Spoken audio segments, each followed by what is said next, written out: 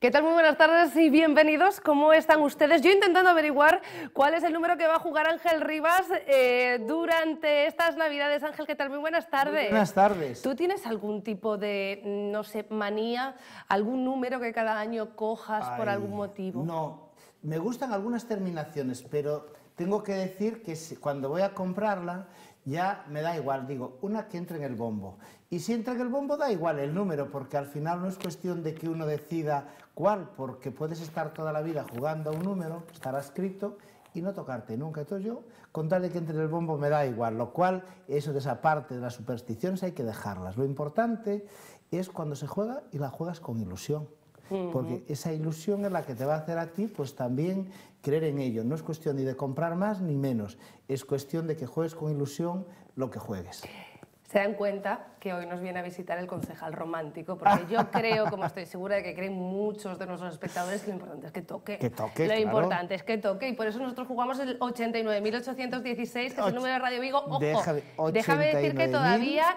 queda eh, alguna participación, estamos en arena el número 8, pero saben ustedes que solamente, eh, Ángela, aún no puedes comprar, solamente en horario comercial, como quien dice, entre las 9 y las 2 y las 4 y las 7. Y esto viene a que ahora en informativos acabamos de ver este reportaje sobre loterías porque nos decían los loteros de la ciudad, en especial en el de Portado Sol, con el que estuve esta mañana, que lo de las luces se nota y mucho también para la venta de lotería. yo tengo que decir que esta mañana estuve viendo algunas de las cosas que de los SES, de la ornamentación que hemos montado pues por el centro, ¿no?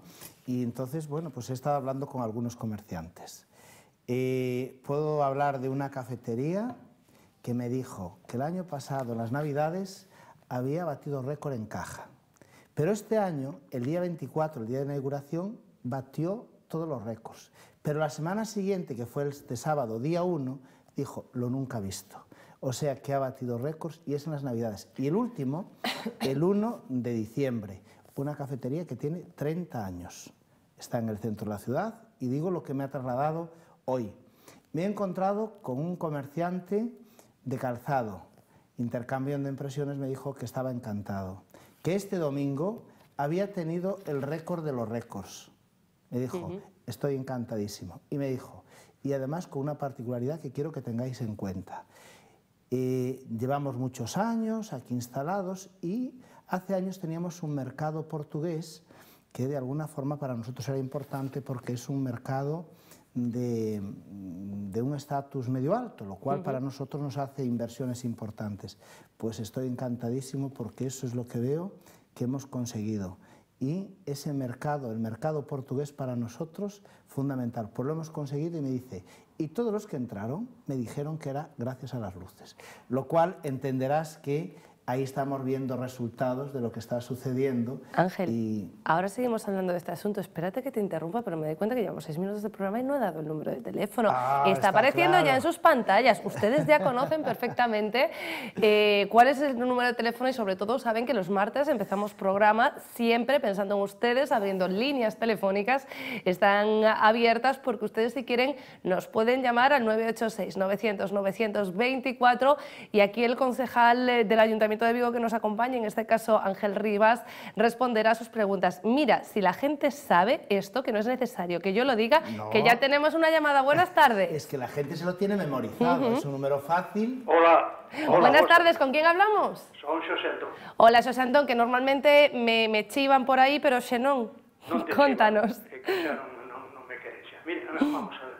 Eh, bos días, señor Rivas e compañía. Buenos días. E eh, hoxe un dos días que digamos, dá gusto chamar daquela maneira. Por qué?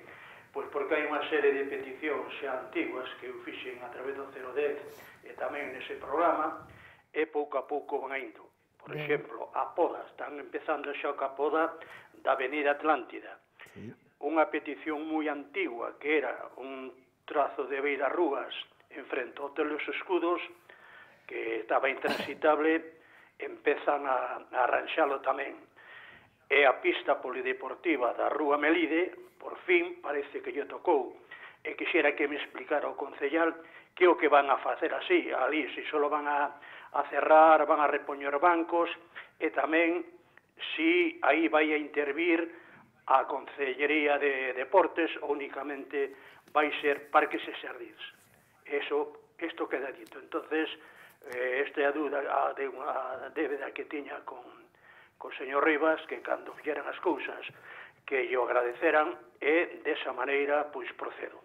Nada máis, boas tardes. Unha aperta, Xosé Antón. Moitas gracias, Xosé Antón.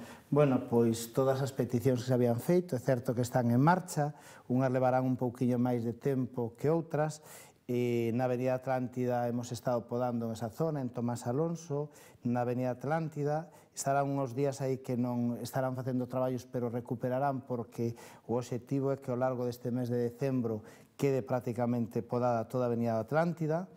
En cuanto ás beiras rúas, pois nada, era unha petición, unha necesidade, e polo tanto, aí están. E da Rúa Melide, da Rúa Melide só vai a intervir Parques e Sardins porque a pista na súa totalidade é competencia de parques e sardins. Aí non ten competencias en esa pista a Concellaría de Deportes. E nada, o obxectivo aí é adecentar todo o que é a pista, todas as zonas verdes, poñer porterías novas, deixala en perfectas condicións uh -huh. para uso e disfrute de todos nenos e nenas, xóvenes e xóvenas Oye, non sei se está bendito. No, xóvenes, pero, pero, pero podemos, podemos decir perfectamente. Tamén, todos os xóvenes en xeral. Hai, hai cousas que, y, y que aí. a RAE non admite, pero, pero que hai termos que pero debemos que se utilizar igualmente. Trasladar. Bueno, pois decir que se está aí para o disfrute de todos e, bueno, espero que ao longo deste mes de decembro quede rematado todo que son esas demandas pois que Xosé Antón nos trasladaba, que tamén nos trasladan desde a Asociación de Veciños e tamén algún veciño en particular pois daquela zoa. E entonces, bueno, pois aí estarán en perfectas condicións e agradecer a Xosé Antón pois o feito de que haya chamado E, bueno, que algo que decimos moitas veces aquí, que cando as cousas se fan, pois tamén se agradece, non? Cando chaman para dar o retorno. Así que moitas gracias, José Antón. Una nueva llamada, José Ramón, ¿qué tal? Muy buenas tardes. Hola, buenas tardes, ¿qué tal? Le escucha, concejal. Hola, sí, José Ramón, buenas, buenas tardes. tardes. Hola, concejal. Mira, que, quería decirle que transmitiera, por favor, al alcalde un recado de parte mía, decirle que muchas gracias, muchísimas gracias por ocuparse de las personas mayores en el centro de Vigo. Quitaron todos los bancos para que no puedan asistir a los centros navideños. Y entonces quiero decirle ante todo eso que muchas gracias por el tema. Es solamente eso, muchas gracias. José Ramón, no te ironía, ¿no? No, que lo interprete como quiera.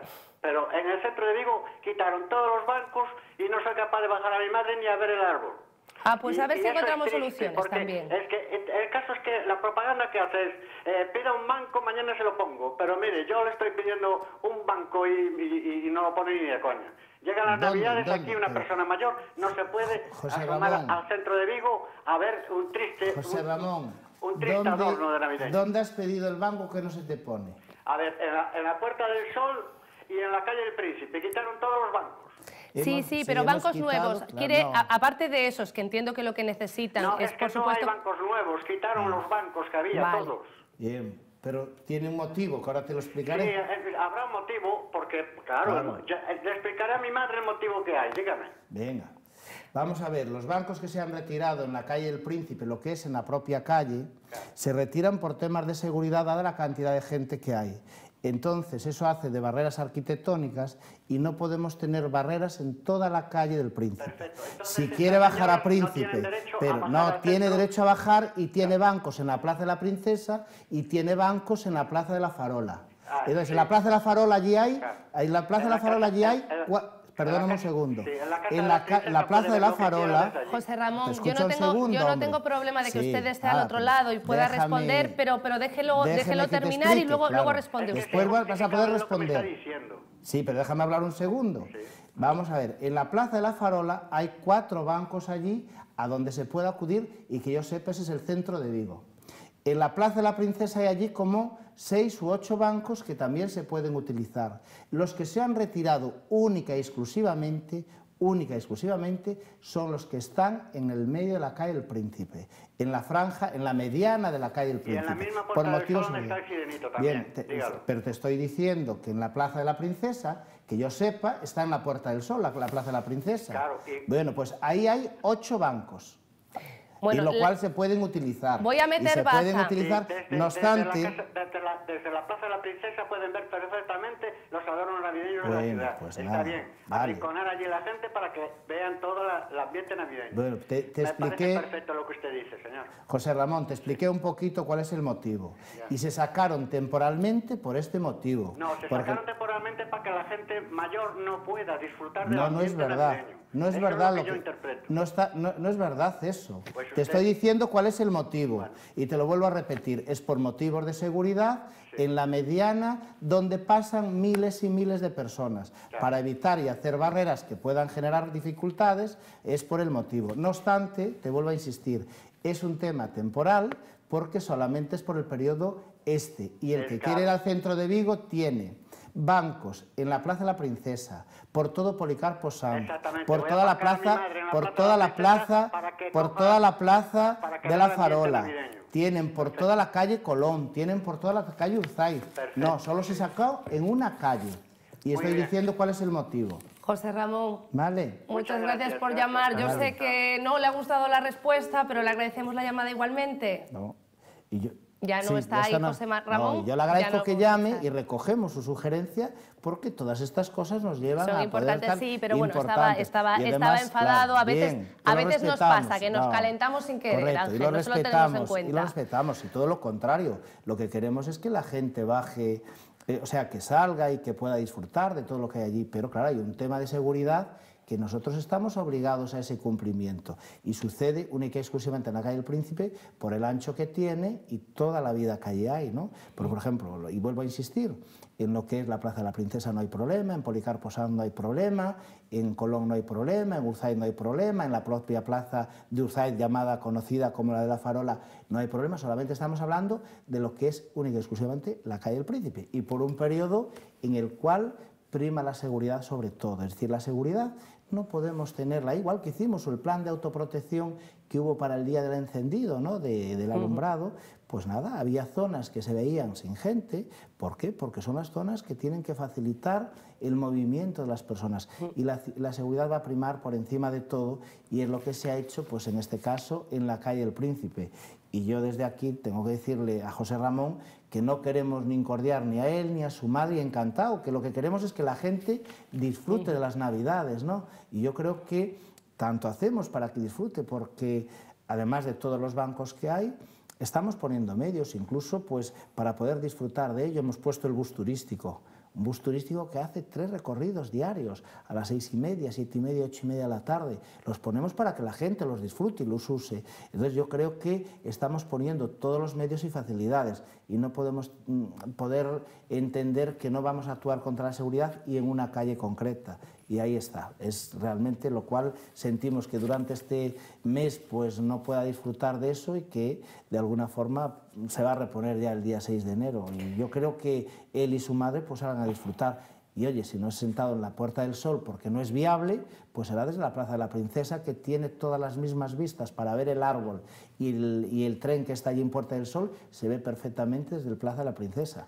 Déjame recordar el número de teléfono 986-900-924 y aprovecho para recordar también el funcionamiento habitual de este programa. He dejado, bueno, veía un poco... Eh, enfadado a José Ramón, por eso le hemos mantenido la llamada. Saben que lo normal, el funcionamiento habitual es que ustedes llaman, hagan, su pregunta, que escuchen por el televisor la respuesta, más que nada, no por otro motivo, sino porque solamente tenemos una línea telefónica en este programa para que quede el teléfono liberado y poder ir cogiendo las llamadas siguientes que ustedes no estén escuchando el teléfono comunicar todo el rato. Dicho esto, si ustedes quieren hablar más de la cuenta, yo les dejo también, bueno, pues es cierto que, solamente es un día a la semana. que la gente si llamas para que hablen. pues ahí estamos. Además, aquí había algo a mayores, que entendíamos que José Ramón quería algún banco concreto en algún sitio concreto. Y, no, era, era, que quería los que ya tenía. no, correcto. Sergio, buenas tardes.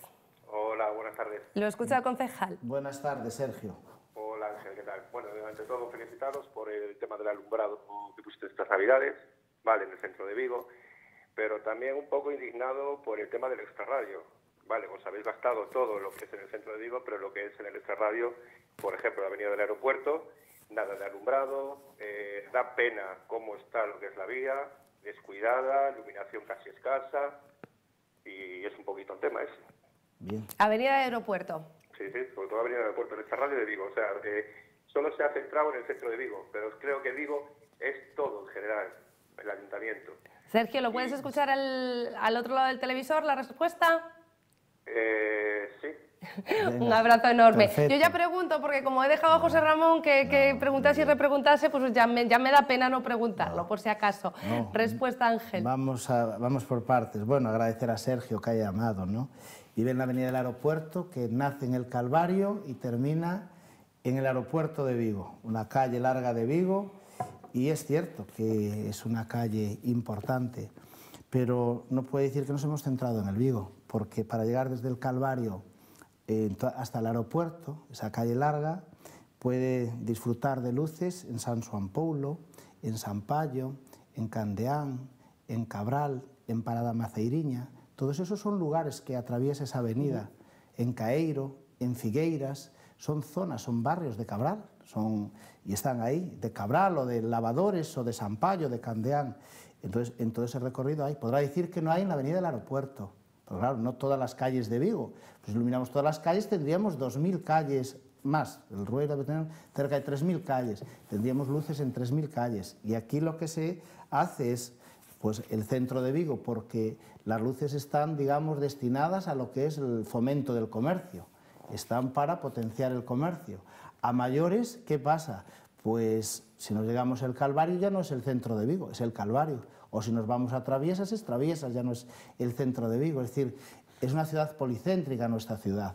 Y si nosotros nos vamos a Bouzas, allí tenemos nuestro núcleo de luces importante. Si nos vamos a Teis, tenemos nuestro núcleo de luces importante. Si nos vamos a Balaídos, tenemos nuestro núcleo de luces importantes. Si nos vamos a Benbrive, el centro de Benbrive las tiene. Las tiene el centro de Olla, el centro de Coruxo, el centro de Cabral, el centro de Lavadores, el centro de Candeán, de cada uno de los núcleos importantes de la ciudad, de esas 22 parroquias aproximadamente que tenemos y esa zona más policéntrica, Calvario, Teis, Bouzas y, Traviesas y sumándole también Balaídos. Por lo tanto, en el centro de Vigo hay lo que hay, que todos los que han pasado por allí han visto lo que hay, y el resto de Vigo sí también tiene luces. ¿Qué pasa? Que su calle ha quedado, pues es cierto que ha quedado, pero insisto, ¿no? porque es inviable poder llegar a todo, pero claro, hemos eh, iluminado sobre 350 calles, 360 calles de esta ciudad. Claro, mm, ya hay 3.000. Entonces, claro, es imposible poder llegar a todo, ¿no? Parece que estamos haciendo hoy... Lo cual sentimos y recogemos la sugerencia que tenemos que sumarla a esas peticiones. Porque es importante, porque cuando decimos, no, y es que cada vez vamos incrementando más gasto, vamos incrementando... No, no es gasto. En primer lugar, es una inversión. Y en segundo lugar, pues porque todo el mundo quiere luces, lo cual yo recojo la sugerencia de Sergio pues para tener y también estudiarla pues en futuras ampliaciones que pueda haber para tener y, saber también esas calles pues que tienen más demanda, lo cual se lo agradecemos a Sergio. Decía yo que parece que estamos haciendo un monográfico de luces hoy. Sí, Vamos sí, a ver sí. es porque estamos en plena fecha, ¿no, María? Y entonces... Vamos a ver si nuestro próximo espectador quiere también preguntar sobre este asunto. Miguel Ángel, buenas tardes. Buenas tardes, María. Buenas tardes, Ángel Rivas. Hola, buenas tardes. Nada, le, felicito a usted y a la Corporación Municipal por el tema navideño, porque está siendo un éxito, ya no ya de este año, ya de años anteriores, pero este año se lleva la palma, porque la mayoría de la gente que no es de la ciudad, pues eh, pasa un rato aquí en nuestra ciudad y para ver el alumbrado navideño, que ha sido todo un éxito, y sobre todo el día de la apertura, el 24 de noviembre, que yo estuve presente, que ha sido no a más y aparte nos acompañó el tiempo porque según dijo Abel Caballero que esa hora no iba a llover y entonces acertó. Eh, con respecto a otras cosas eh, cotidianas, eh, le digo que les felicito también porque en su día yo he hecho una queja por el tema de las hojas de la recogida, pero con el mal tiempo no se veía la recogida de las hojas en ciertas calles de la ciudad, pero donde yo vivo, en la zona de ladores, pues desde que hice la queja, eh, le agradezco que al día siguiente pues eh, recogieron las hojas y las calles están bastante mm. más limpias, ¿no? Porque ya me parecía raro que en la campaña otoñal pues no había recogida, pero bueno, tiempo al tiempo. Dos cosas para terminar. Eh, el tema del asfaltado, quería saber cuándo empieza el asfaltado de ciertas calles de Vigo, porque hay algunas eh, avenidas que le hace falta una chapa y pintura. Le doy ejemplos como la circunvalación Arquitecto Palacios, tanto de subida como de bajada hacia Castrelos o hacia eh, la estación de autobuses de Martínez Garrido, eh, Avenida Ramón Nieto, que hace años que también le hace falta una capa de asfaltado importante, la Gran Vía, tanto descendente como ascendente, y ahora no le puedo decir más calles porque sé que va a haber una partida en tema asfaltado y quería saber cuándo sería el cuándo empezarían las obras, ¿no? Y otra cosa que es tema deportivo para que se lo diga al concejal Manuel Fernández en eh, las instalaciones deportivas de Coto Grande estaba proyectado cambiar el césped de hierba artificial de uno de los campos, el más antiguo, el primero, sabes que hay dos, en su día se hizo otro, y el tema de alumbrado. En el campo nuevo, donde hicieron el césped nuevo, pues le hacía falta también eh, eh, aumentar el tema de la potencia de la luz. Y nada, les felicito por el tema mm, municipal y desearle a usted y a la presentadora, que es bastante simpática, unas felices fiestas. Buenas tardes. Igualmente, Miguel Ángel, gracias. Miguel Ángel, muchas gracias por la llamada ¿no? y por las felicitaciones todas, ¿no? de las luces, de esa recogida de hoja. Yo creo que lo de la recogida de hoja tenemos también que romper un poquito el estereotipo que no es suciedad, sino es algo de la propia naturaleza, que incordia un poquito, sobre todo en las aceras, las zonas transitables, pero bueno, que también tenemos que ver que no haya una cantidad masiva, como decía Miguel Ángel, porque, porque, bueno, pues porque siempre generan esa parte de incordio que está ahí. Y bueno, pues en ello hemos estado. En cuanto a las calles, pues no sé cuál es el plan, cómo están en estos momentos, lo traslado para que lo divulguen en todo caso, pero yo creo que cuando hay un plan de asfaltados, pues ya el alcalde siempre anuncia y sé que hay varios, varios asfaltados, tanto en las zonas más rurales o más, más periféricas o más eh, semiurbanas o en el propio centro, entonces, bueno, pues seguro que lo anunciará el alcalde. Y en cuanto a lo deportivo, pues lo trasladamos a deportes para que realmente pues vea lo que hay, cómo está.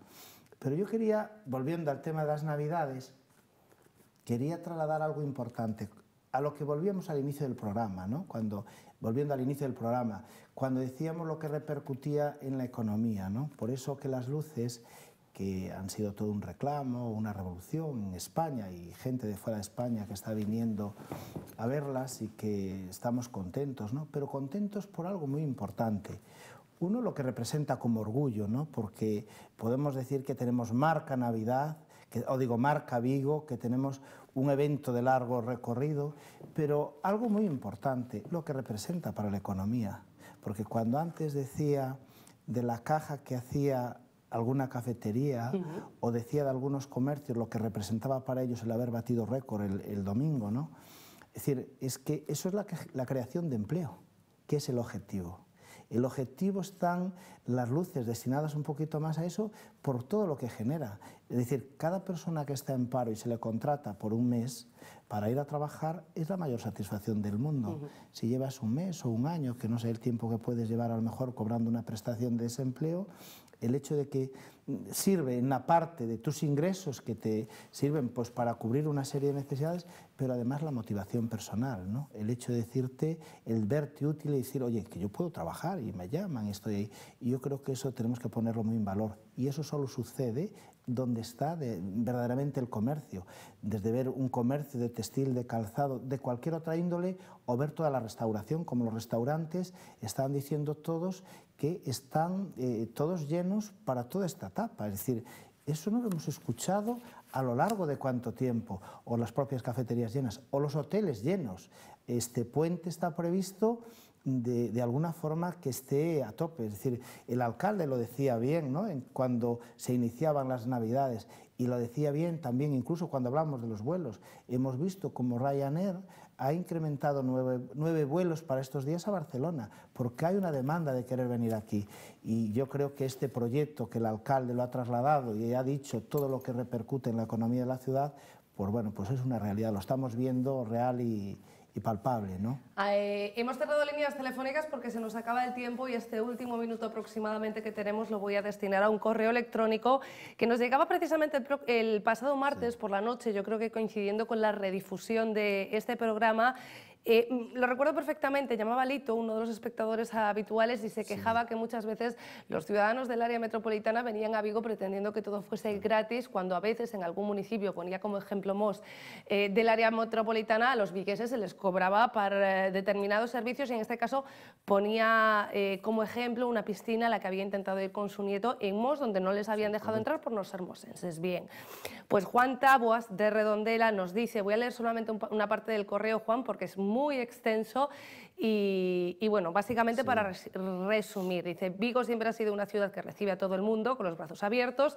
sobre todo a gente que vive en ayuntamientos limítrofes, una ciudad que tiene gente eh, que tiene parte de su aeropuerto en Redondela y Mos, parte de su zona franca en Oporriño, industrias vitales en Redondela, en Oporriño y también en Mos, servicios de abastecimiento de agua y comunicaciones que pasan por estos ayuntamientos y que en su día causaron expropiaciones y obras muy molestas para sus vecinos, los de estos municipios del área metropolitana. Nos dice, yo soy de Redondela y aquí hay muchos celtistas, mucha gente que va al corte inglés, mucha gente que trabaja en Vigo y que hace gasto en Vigo, mucha gente que viene a Vigo con mucha frecuencia. El resumen básicamente de lo que nos cuenta a, continuación es que mm, nos pide que sigamos siendo una ciudad acogedora. Yo dejo aquí también el testimonio pues de Juan que nos enviaba el correo electrónico. Yo también he hecho el guante eso. ¿Por qué?